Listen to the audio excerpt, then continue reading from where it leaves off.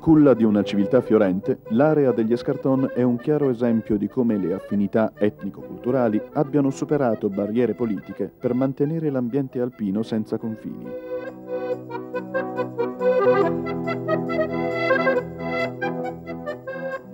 Fortemente uniti dalla lingua occitana, gli abitanti di Briançon, Queiras, Casteldelfino, Pragelato e Ulx si ritrovano annualmente nella festa della Valaddo per rilanciare un comune sentire. Esempio piccolo ma concreto di una futura Europa senza frontiere.